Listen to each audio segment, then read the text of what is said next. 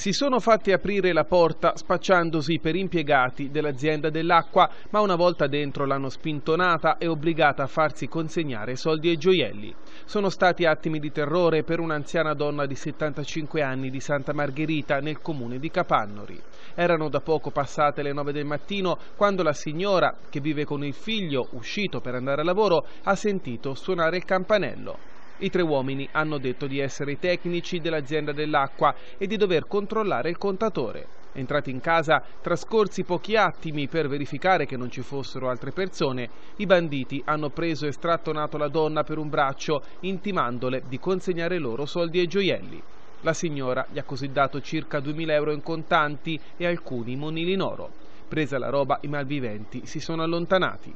Nell'impeto di dare l'allarme, l'anziana è scivolata sulle scale procurandosi altri traumi oltre a quelli subiti alla spalla per colpa dello strattonamento. Sul posto sono giunti i carabinieri e un'ambulanza che ha portato la signora in ospedale.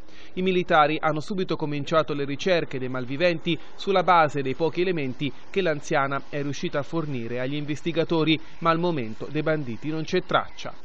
Purtroppo questo episodio riporta alla mente il fatto avvenuto il 4 aprile scorso a Forte dei Marmi, quando Luana Mariani, 77 anni, è stata trovata nella sua abitazione senza vita, legata e imbavagliata dopo una tragica rapina. Delitto che al momento non ha ancora un responsabile, ma su cui la polizia continua a lavorare senza sosta.